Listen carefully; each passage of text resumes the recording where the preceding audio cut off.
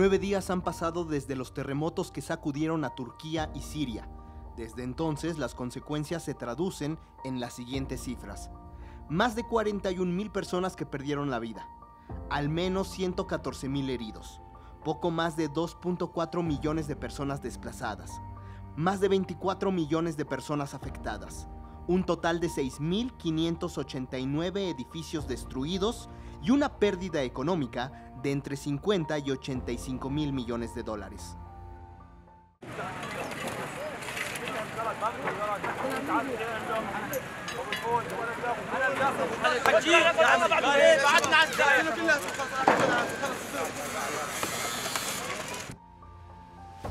De acuerdo con autoridades de la Organización Mundial de la Salud, existen al menos 80.000 heridos que están hospitalizados en este momento a causa de los sismos de la semana pasada, lo que ha propiciado una gran presión en el sistema de salud, además de la gran cantidad de víctimas mortales que se piensa aún siguen entre las ruinas, lo que genera posibles focos para la generación de enfermedades.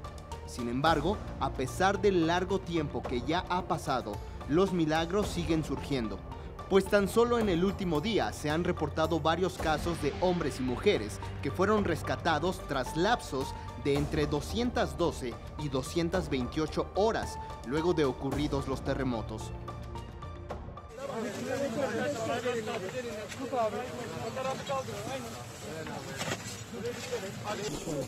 Kardeşi bu kardeşi. Tamam.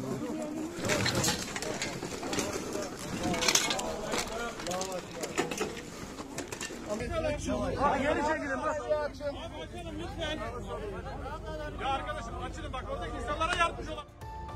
Las autoridades y organizaciones de carácter local, nacional e internacional comprenden que la emergencia no ha pasado.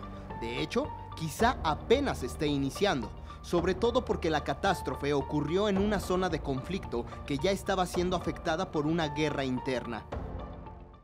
In Damascus, the regional director, Dr. Ahmed Al Mandari, chief of emergencies, Dr. Mike Ryan, and I met with President Assad to discuss the impact of the earthquake, and we requested that he allow additional cross border access points, which he indicated he was open to. On Monday, two more cross border points were opened, allowing convoys from Turkey into the northwest of the Syrian Arab Republic. You can imagine that after 11 years of conflict, this is a population that is feeling exceptionally vulnerable, and many of the partners who we work with are also depleted in terms of their own emotional and physical well being.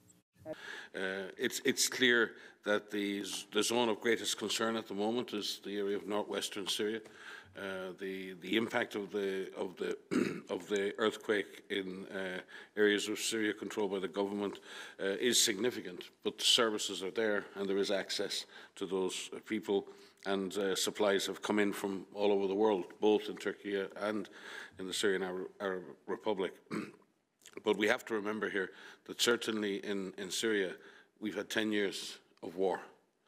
The health system is uh, amazingly fragile. Um, people have been through hell. Um, and this is the latest, both physical and psychological uh, strain on an already uh, stressed uh, population.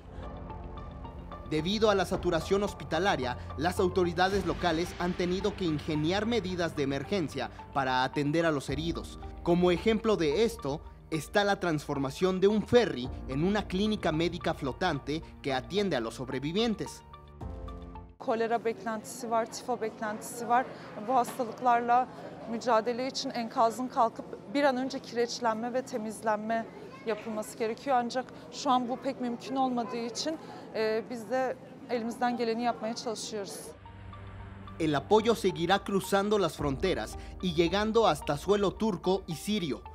Pero mientras tanto, el tiempo se agota y los damnificados enfrentan uno de los peores inviernos de su vida.